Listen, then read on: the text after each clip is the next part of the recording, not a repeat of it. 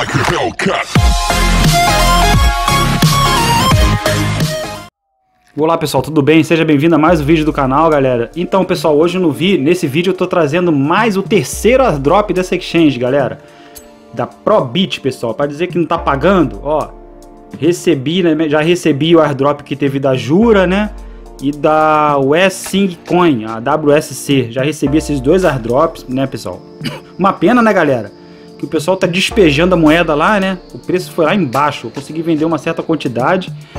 Mas eu dei a bobeira de esperar e o preço despencou, né?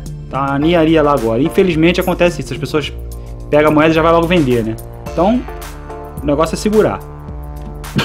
então, galera, participar desse terceiro airdrop da, da Probit. Essa exchange está tendo muito airdrop, pessoal. Ainda vai ter mais airdrop ainda.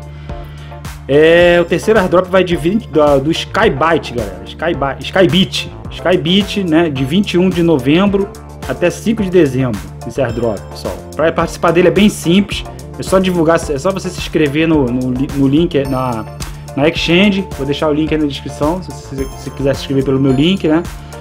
E ou participar de um grupo do Telegram também, que tem um outro link lá de referência que você entra.